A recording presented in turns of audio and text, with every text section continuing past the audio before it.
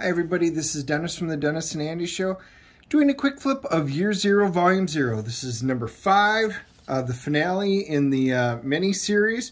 Um, Daniel Kraus, uh, Goran Sudzuka um, did the issue, and this one wraps up uh, the tale, talking about the beginning of the zombie apocalypse. So, uh, you know, this gives us 60 seconds where you get a, a, peek at the story and you get to look at the artwork. If this interests you, you can run down to your local comic book shop and pick up your back issues, or I'm pretty sure this one will come out in a trade.